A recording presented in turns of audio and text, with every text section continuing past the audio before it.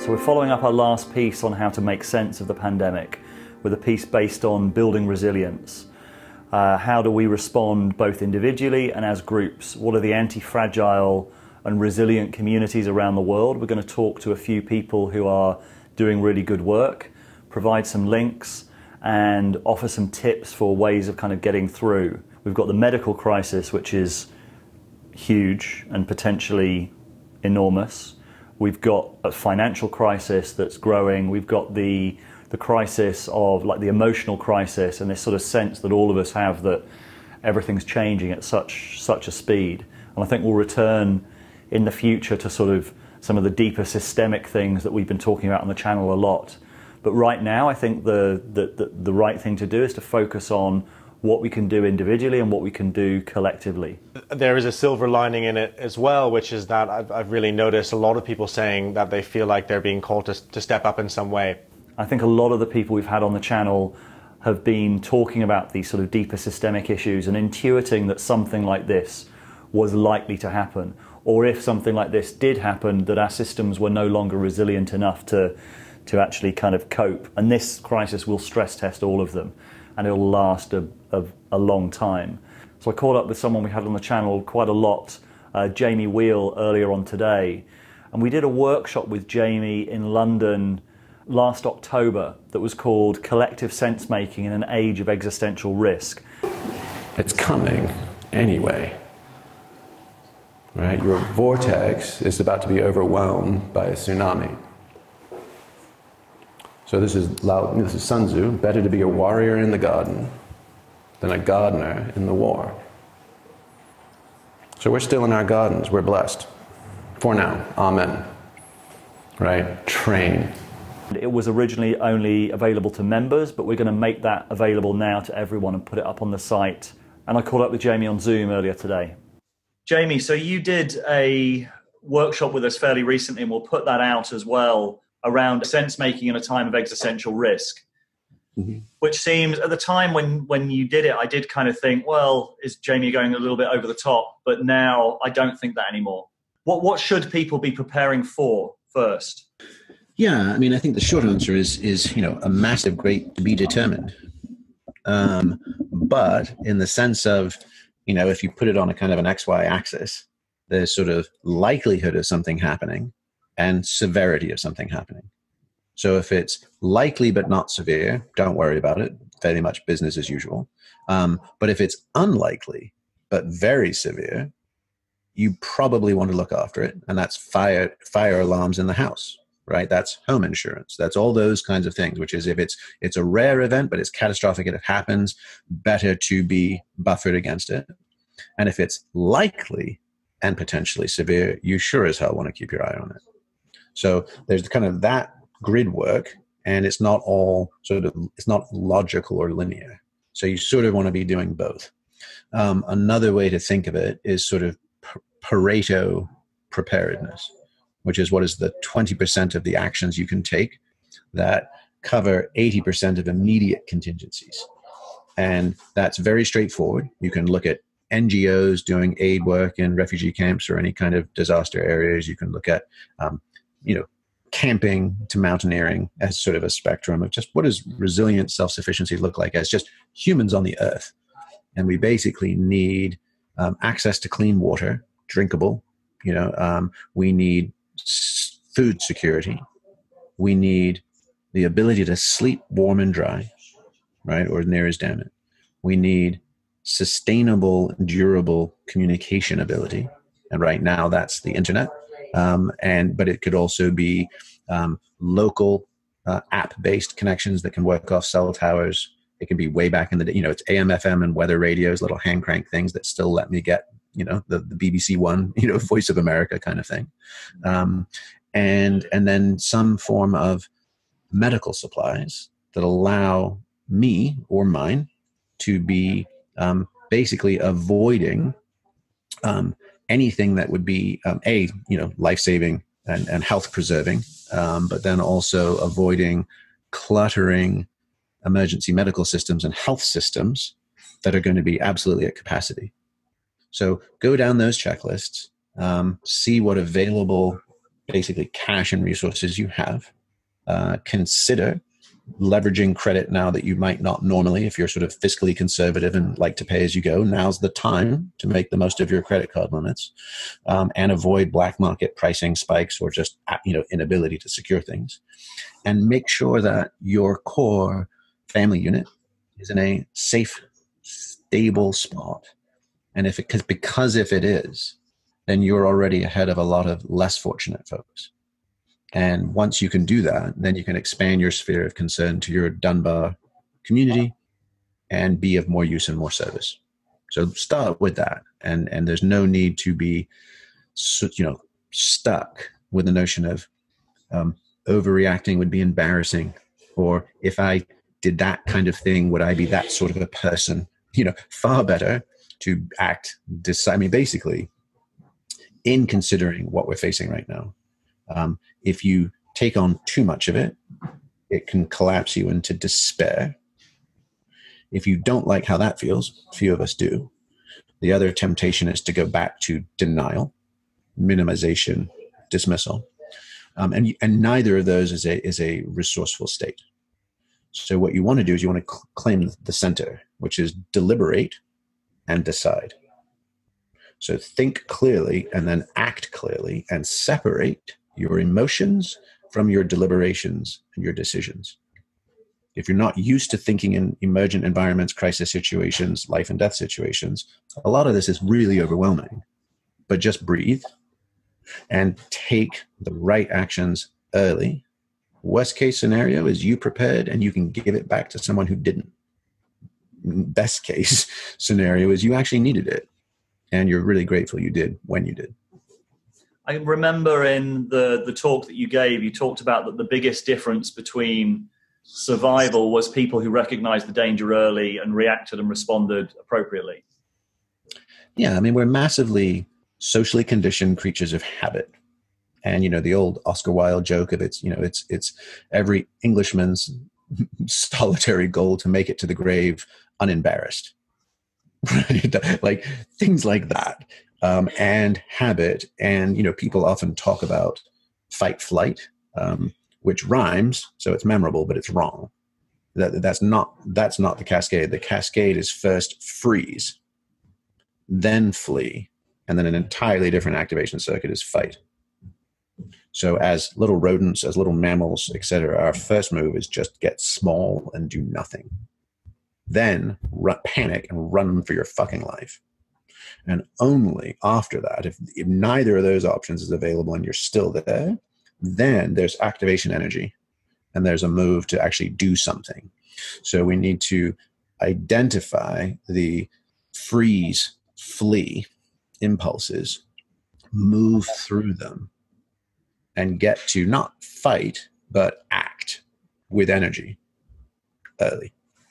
So a few of the people I've been speaking to over the last couple of days are talking about how to create kind of resilient communities and support.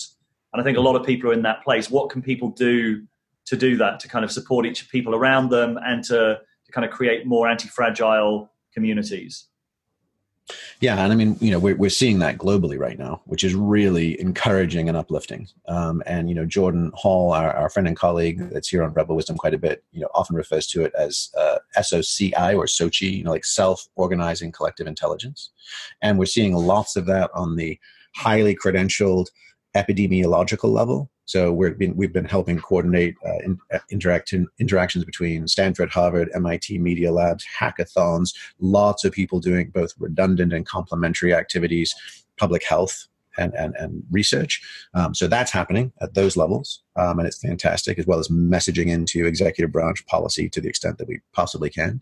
Um, and then there's also just grassroots bottom up, which is first get to higher ground secure yourself in a way that is sustainable so that you can be part of the solution and not an, and not another casualty that needs someone else looking after you. So first do that and make no bones about it.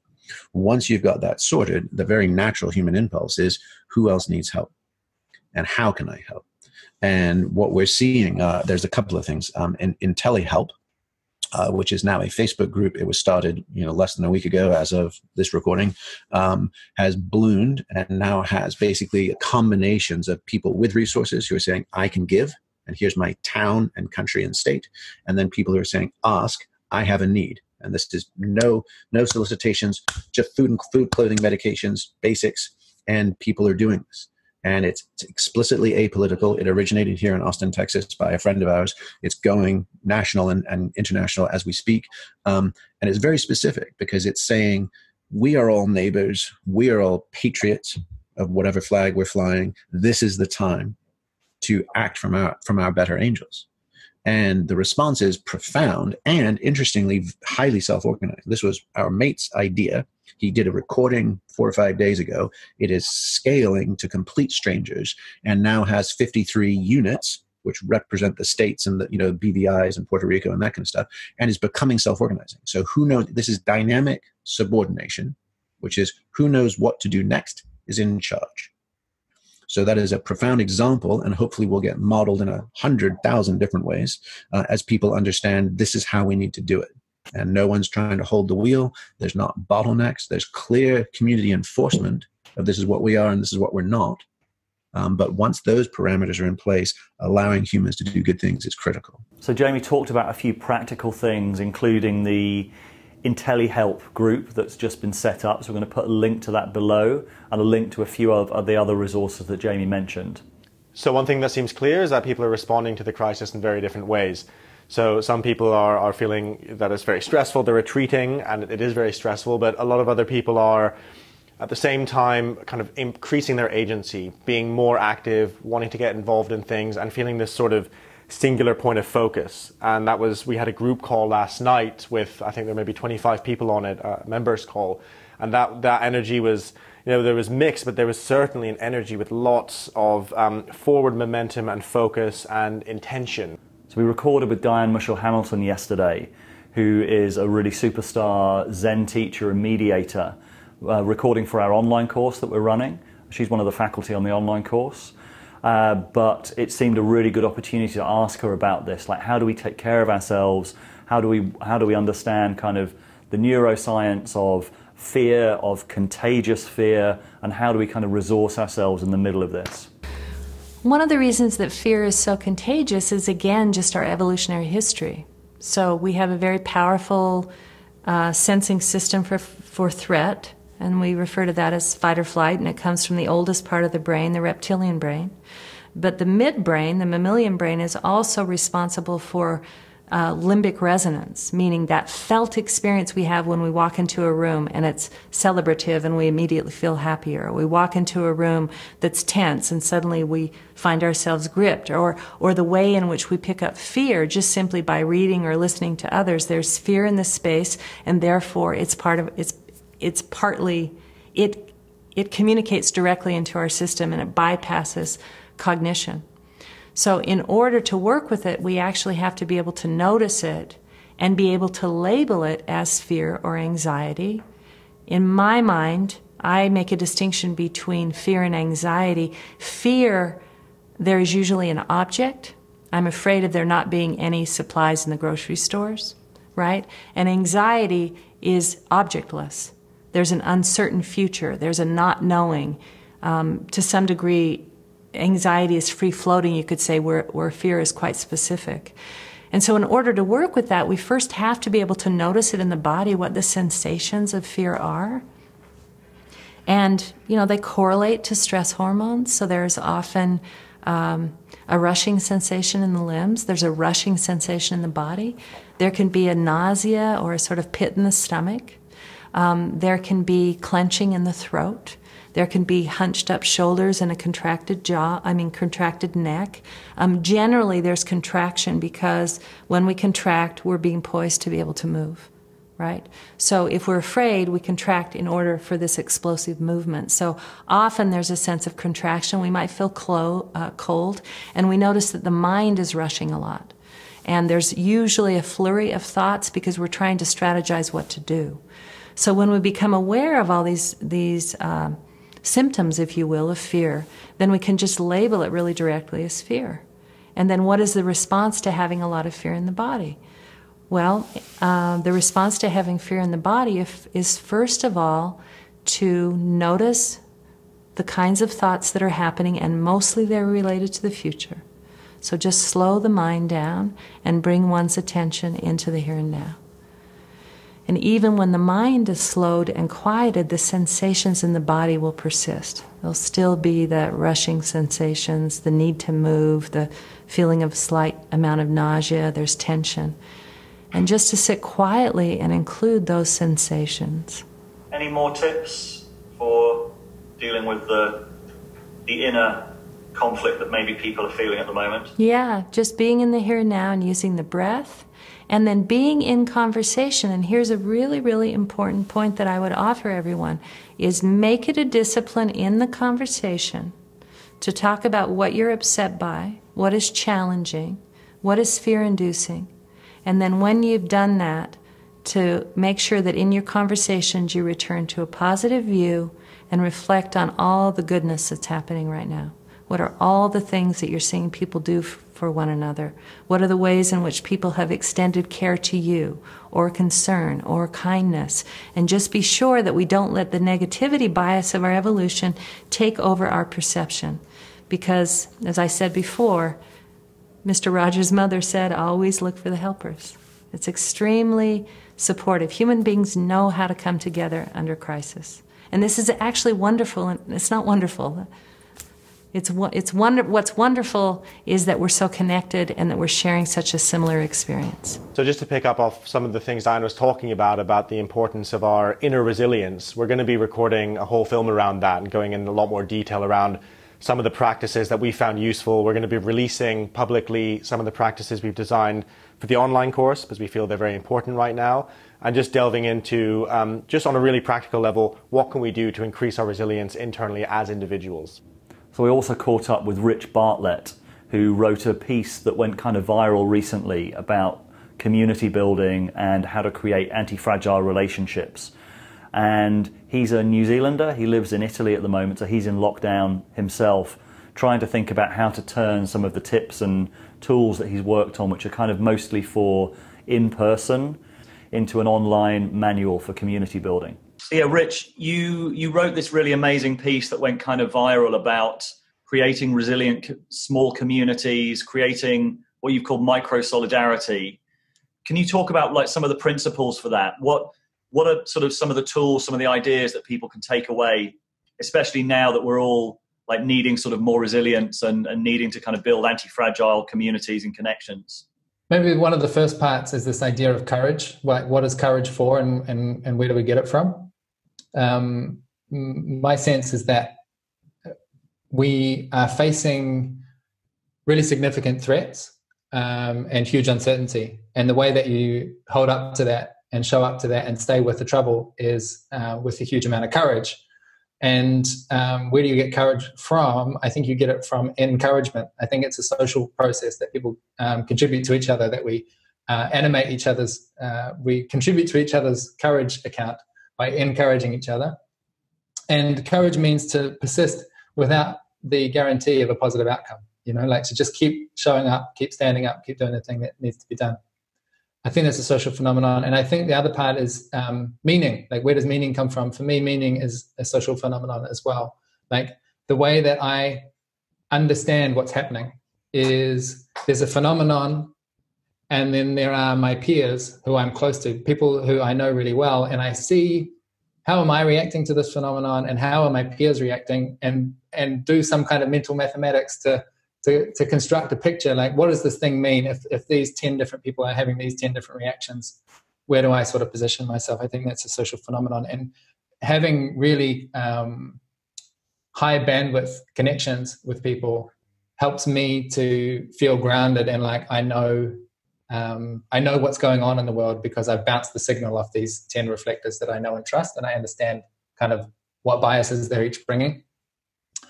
So that's kind of the um, why. Uh, uh why I want a methodology is, is is for those two pieces, and then the the structure of it is like that we've been trained for individualism, and and it's really um, it's severely undermining our resilience and that the answers that we need involve us developing relational competence, learning how to be in groups. And um, as I, as I said, I've been traveling with my partner for a few years, working with groups, working with collaborative groups, decentralized groups, non hierarchical groups. And what we realized from working with more than a thousand of these different uh, collectives and companies and so on is people are really bad at collaboration. They're really, really bad at it.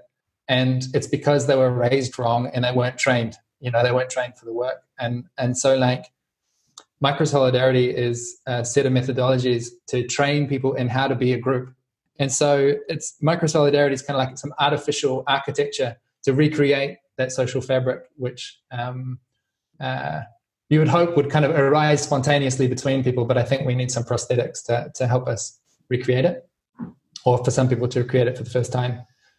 Um, probably, probably one of the essential pieces uh, of the theory to, to just have in mind is my language. And I'm not attached to the language; other people can use their own terminology. But I talk about dyads, so that's two people, and then I talk about a crew, which is somewhere between like three and eight people. I limit it to how many people you can have dinner with, like in a sit in a, in a circle with at a small table. Um, and then I named the congregation, which is basically limited by Dunbar's number, so like one or two hundred people. You know, so like a group that's small enough where everyone can know everyone.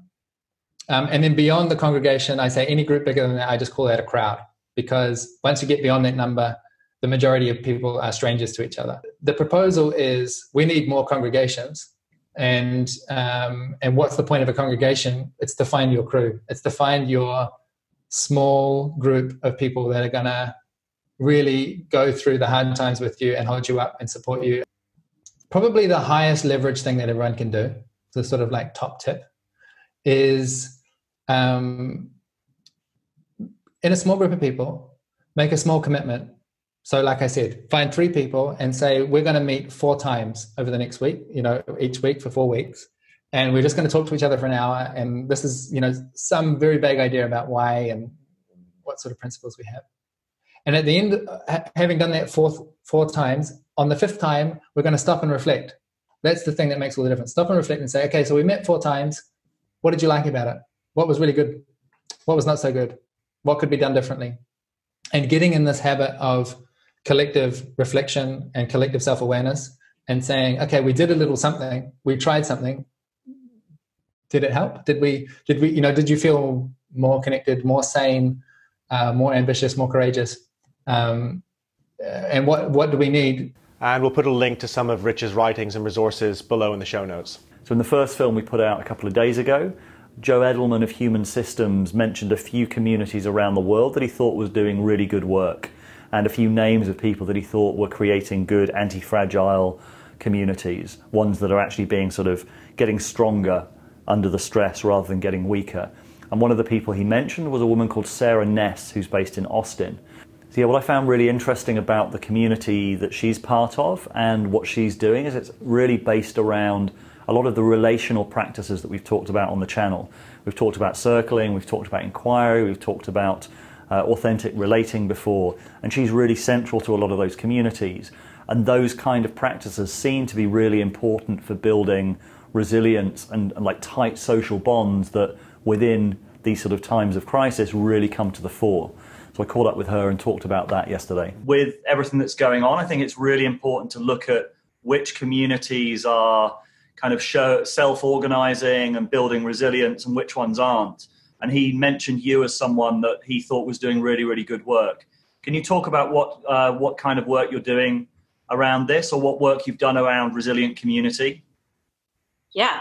Um, I just want to say it's really cool to have community starting to come up as what feels like a more kind of relevant topic as we're transitioning most things online because it's like this is what we've got right now is how do we support each other? And i've been working in the authentic relating and circling movement for the last eight years. And i got into it because i was um, interested in the housing cooperative movement and i was trying to figure out like how is it that people can coexist and support each other's needs in these kind of smaller um, tribes, really, or like conglomerates that don't just rely on government or on work or on other people or on school to provide our social networks. Because after we graduate from school, there's not a lot of ways to form connections if you don't have a church or kind of a dedicated social organization. And so I got obsessed with building these spaces that were focused on a form of communication and connection, like often relational games, um, like expanded icebreakers almost, that gave people a space to just really quickly get honest with each other about like who we are, what we want, what's important to us. And something I found that's been really cool is transitioning to like the wider global network of the more than 80 communities that are around the world. It's like people will come through the community, learn a practice of communication, take it, and then like form a hub with the people that are close in their life or with others that they found in that. And it's like it almost has become this pass through where it's like, okay, come in, learn skill, connect with people, go out, form tribe. And as the COVID epidemic has ramped up, like there's so many people sharing information with each other, creating events with each other. Just yesterday, I was on a call with um, all the different uh, creators of, of different uh, online connection platforms. We actually had a couple people from Human Systems, this platform Listenly that does listening, Circle Anywhere and Connect that do authentic relating and circling online. And each of these has online activities in many cases every day or multiple times a day. And we were all coming together and going, okay, can we can we create like an emergency support network for first line providers? We've got you know 10 people on this call. They're all going, yeah, like we'll divide up different pieces of this. We can give facilitators, we can rally hundreds of people at a go that have these space holding skills that then can translate out into different communities. Great. I mean, that's a really good example of a, of a real world um, operation or real world project. Can you give any other examples of those real world projects? Mm-hmm. Yeah, and there's another. I've been drawing some inspiration from the Bay Area rationalist communities that have beautiful they've been doing a lot of coordination, especially around like gathering supplies and having common hubs for it. And then um, they put together this spreadsheet of uh, houses in the Bay Area. And for each house, it has like a quarantine level and, you know, who's in the house. Um, and I created a version of that for my communities, which is like quarantine level, but then also needs and capacities. So, what is it that you're needing because there are some people in our community that are immunocompromised and can't go out or are older. So you know do you need food? Do you need money? Whatever it is what are your capacities? What can you give? And we have like a, a thread of people that are that are communicating on that and that are updating. Something i found i was i was thinking a little bit this morning about this call and what is it that creates community. Um, there's this cool intersection where I often am like, well, I can just like create a resource and put it out to people. Like, here's this amazing spreadsheet. And something that I love about the practices that I've been engaged with um, over time is there's focus on group connection, but there's also a lot of focus on one on one connection. And community feels only as strong as the strength of the individual connections. Like, people do what their friends are doing, they do what their close groups are doing. So, there's also a lot of just informal checking in that's happening like hey how are you doing? What do you need? Um, is anybody caring for this person or that person? And this is something that joe edelman spoke about in the conversation i had with him that actual cultural change or actual systemic change comes from exactly crises like this where we create kind of local solutions to problems that actually do things better than maybe uh, can be done cent- centrally do you get that right. sense that that's happen- starting to happen? Yeah, and it's it's a cool loop back to like the communities that I'm part of, authentic relating and circling, are kind of rare in that there's never been a governing or organizing board. There's now starting to be kind of intimations of that, but every community has invented and iterated its own way of doing things, invented its own governance systems, invented its own games. The games manual, the authentic relating games manual that's kind of used as the, the resource text for these communities is created by putting out a call and saying who's invented games in the last year? Submit them. And so in that sense i've been privileged to witness like what happens when communities are allowed to really self-develop develop their own facilitation trainings like their own standards of ethics and codes. And it's been successful. And more and more communities have been coming about every year. And i think as we've gotten as we've grown as a country, so there are so many people as as a world, so there are so many people that systems of government can no longer address each of our individual needs. Um, I think there really has been more very under the radar development of friend pods and community pods and practices where now on the internet, it's really amazing for me to witness how many events are starting to happen that I didn't hear of when they were happening in person, but now that they're online, they're getting announced. It's like online dance parties that were happening every week before in different cities, online authentic relating games and circles, online conversations, online meditations and yoga. And there's so many things that people have been doing in small groups that it's it's really amazing kind of seeing it seeing it pop up. Like I think this is really it's it's a call to connect. And we're just going to but it's also an awareness of the systems that have been being built. And we're just going to give the that final I think word form to this, this network across the world and are really what people are depending on to keep them alive. Mm. And do you have any more suggestions of resources to share or ideas to share for people to start creating kind of anti-fragile communities in in their own areas? Yeah, I think one thing is, and a reaction I've often had is I've seen an event pop up or I've seen someone do something and I've been like, okay, well now I can't do that because someone else has done it. Like someone's already holding a Zoom dance party. I don't need to hold my own Zoom dance party. Or someone's already like reached out to, you know, my friends. So I don't need to reach out to them. And it's like replicating the wheel right now is not a bad thing. So like if you have an idea for what to do that could resource even one person around you, like even sending a message to one friend you're wondering about. Like before you think that thought of, oh, someone else has probably done it, just pick up your phone and give it a try. Because the worst case is nobody comes and you spend an hour on the internet like by yourself having your own dance party, or that friend doesn't respond and you message three others. I think one of the things that's going to most make us anti fragile right now is that willingness to just do something, try something, learn something, offer something. Mm. Do it to a group and distinguish doing it from a group to doing it from an individual because those are really different feelings. To doing it from to a system. Like what can you do to support the systems around around you is like another question that I've been asking myself. And then also this practice of if you get reactive, if you get scared, especially if that's in relation to another person, um, so I don't know if that cut out, especially if that's in relation to another person, just see if you can ask a question first. That's the best hack I have. When you notice yourself wanting to react, ask the person a question. Like, why did you say this? What's going on for you? Are you scared? Can I help? And we've talked about sort of a few of these practices circling authentic relating and if people mm-hmm. have watched and maybe want to get involved or experience them any suggestions there Mm-hmm.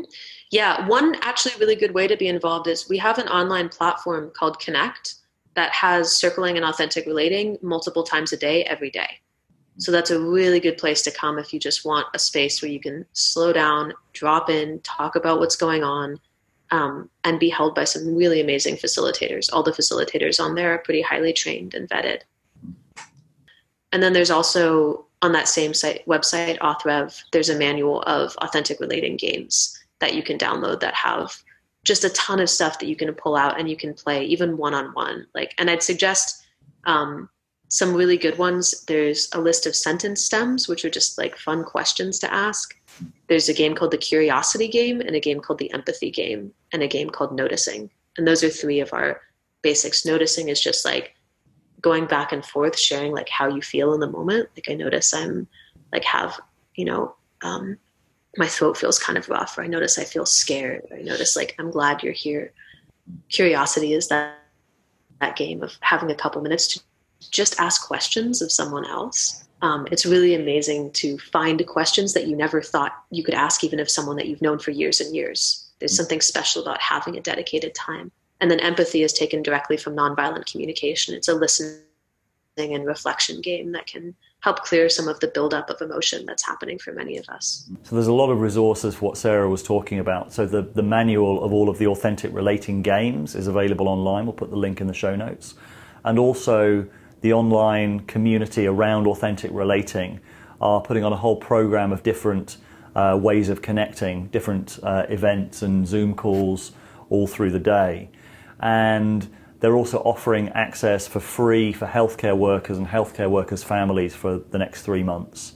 And also just to mention that we have we've been running something called the Wisdom Gym for a little while, uh, led by Peter Limberg, our Toronto correspondent and, and community manager.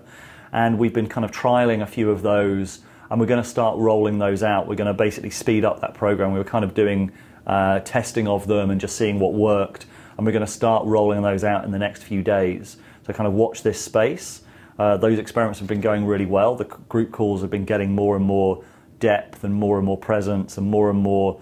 Um, yeah, there's a real sort of sense of shared purpose as well coming through in a lot of the people who and a lot of the members. So do watch out for that. And just to say as well, if you're new to Rebel Wisdom and you haven't seen many of our films, we've been covering a lot of these kind of broader topics of systemic risk and the shift from one system to another and what that might mean, what that might entail, that I think are becoming increasingly relevant.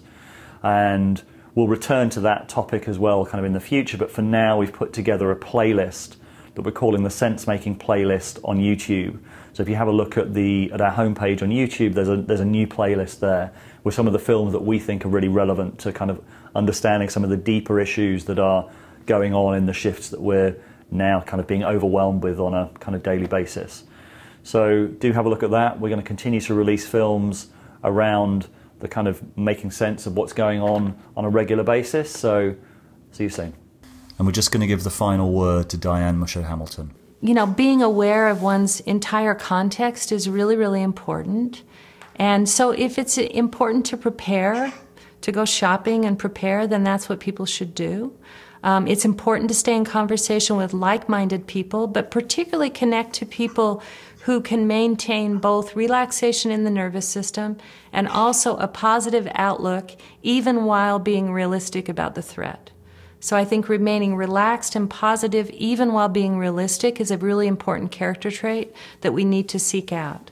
I think websites like yours are extremely important in this time because one can actually self isolate and stay at home and connect into uh, people who have a big picture vision who are going to support people in not panicking, who offer practices like sitting meditation. So if you go to Two Arrows Zen, my website, there are two times of the day that you can get on and sit with other people and actually experience a stable relationship to body and mind and open awareness. And so I think the it's just important to engage the situation as practice. In Zen, we say that our life is our practice. So, our life right now, in our own interior, in relationship to our choices and our behaviors, in relationship to how we mingle and cluster and talk with others, and to how we work with the systems, including the healthcare system, including the economic system, all those things are an important part of the practice. Nothing is left out. It's our entire life. And for someone like me who's been practicing meditation and mediation both for 40 years, I feel like it's time to to actually this is where the rubber meets the road. All this, all these years of practice, if I can't manifest some of what I've been taught and learned over this time, when am I going to be able to? So I hope we can, we can use the benefit of our practice and share it with others during this time. Is what I'm hoping. Times that we maybe have been practicing for. Yes, I think I think that under the circumstances that we, we use that expression business as usual there is no business as usual right now. Everybody is in a little bit more or less an alternative universe to the one they were in before. So decision making, conversations, choice making, sense making, everything is altered because of the intensity of not just the threat to you, but, but the threat to, to everyone around us. So it isn't just that I might get sick, it's that I might be sick, not know it, and infect someone near to me. So we're, we're completely connected in this way. And this is the time to heighten our awareness and actually use the clarity of our mind and the, the openness of our heart to include the well being of everybody and the efficiency and responsiveness of our body and the tremendous stability of our communication systems, our um, internet, if you will. I mean, there's so many downsides to it, but right now it's actually really, really helpful because we can get information directly, and that's really important. And um, so I think regarding our life as practice is the first thing. And then seeing where are the places that we actually need support. So, in relationship to how we show up to each other, are there room for multiple perspectives? Is that something that we can create space for? I, I see some things on Facebook where there's this kind of are people being panicked or are people not or what's the truth? And my guess is that it's a combination of both and that there's room for fear and there's room to be fearless right now. And is it possible to listen in such a way that you create space for multiple perspectives? Can you calm your own nervous system in relationship to somebody else who's feeling panicked? And you can simply by receiving them, not by comforting them, not by um, giving them advice, but simply by just listening to how they feel and what's happening. That that's a practice that we've engaged in um, for years, and uh, we all know that when we're in a state of mind that is more in flow, meaning that we're not pressured by time, meaning that we're not coming from an egoic place, meaning that it's a natural responsiveness as opposed to making effort, that we can move in flow and we can execute really um, beautifully, even under stress. And so any practice that creates more flow in my system and creates more flow in relationship to you and relationship to the whole is worth engaging at this time. So all of us are being challenged to bring more of what's possible to this moment. So um, I would say our kind of casual and unmindful way of being is not the best approach. So mindfulness awareness is the drill right now. Rebel Wisdom is a new sense making platform, bringing together the most rebellious and inspiring thinkers from around the world. If you're enjoying our content, then you can help us make more by becoming a subscriber, which will give you access to a load of exclusive films. Also, you can then join our group Zoom calls to discuss the ideas in the films, and you can send us ideas for questions for upcoming interviews. We're also looking for talented people to help us out with editing, graphics, music, that kind of thing. And if you're a regular viewer, you'll know we talk a lot about the value of embodying or actually living out the ideas that we talk about. So that's why we run regular events in London. Check out the links on the website for more. And hope to see you soon.